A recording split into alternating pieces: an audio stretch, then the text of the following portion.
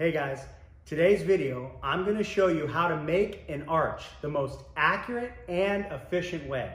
Yes, I said accurate and efficient. So that means there will be some math. But I'm gonna take that challenge to show you how simple the math really is and that you can do it. There's only a few concepts we need to understand which are very simple. First, the arch we're dealing with comes from a circle. A circle is a closed shape where all surfaces are equal distance from the center. A straight line from the center of the circle to the surface is called the radius. The radius is always the same length no matter what direction or angle. Once you know the radius, you can draw any circle or any part of a circle. A straight line from one surface to another surface in a circle is called a chord.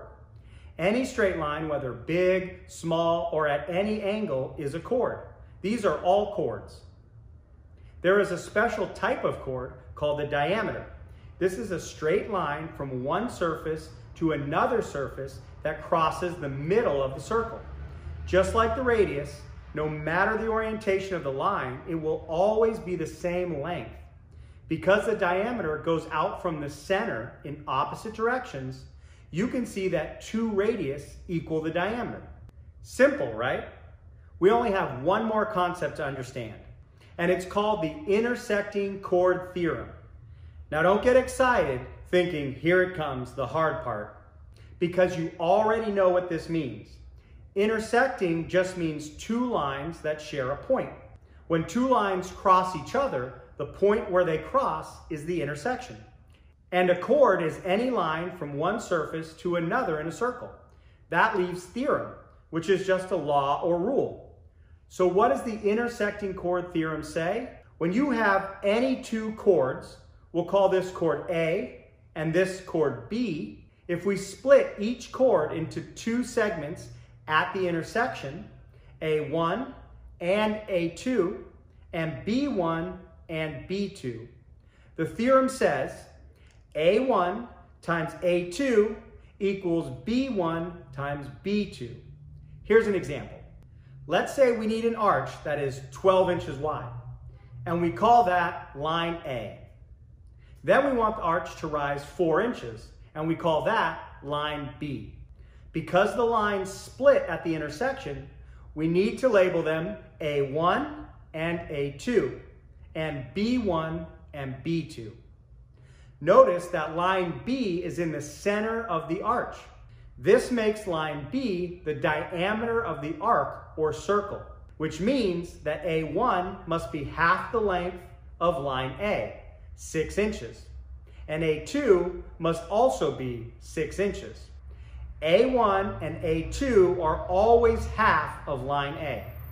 We know the rise is 4 inches, making B1 4 inches, now we need to find B2. Remember, the theorem states A1 times A2 equals B1 times B2. So A1 times A2 is 6 times 6 equaling 36, meaning B1 times B2 must equal 36. And you know B1 is 4, so we have to divide 36 by 4 to get the length of B2, which equals 9. So B1 equals 4 and B2 equals 9. 4 times 9 equals 36. And that's the intersecting chord theorem. Pretty cool. But if you remember, we need the radius to draw the arch. So how do we find the radius? Simple. Because line B goes through the center of the circle, making it the diameter, and the radius is half the diameter. If we add B1, 4, and B2, 9 together, we get 13, the length of the diameter. And 13 divided by 2 equals 6 and a half. So the radius is 6 and a half inches. Now let's do one in real time so you can see how fast it really is.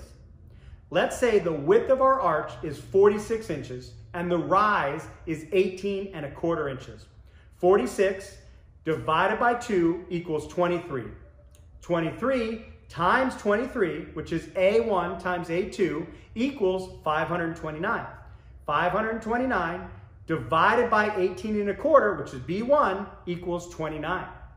29 plus 18 and a quarter is B1 plus B2 equals 47 and a quarter.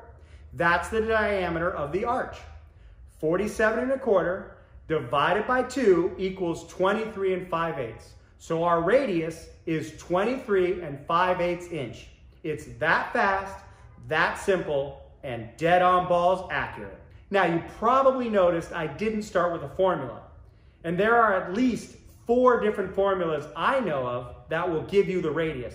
But for me, if I understand how something works, I have a much better chance of remembering it. So here's the formula that goes with this theorem. And it follows exactly what we went over. Start by dividing the width in half.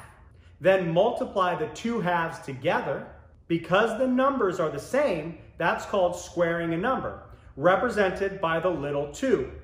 Then divide the answer by the arc height, represented by h. Next, add back the height to your answer, getting the diameter length, then divide by 2 for the radius.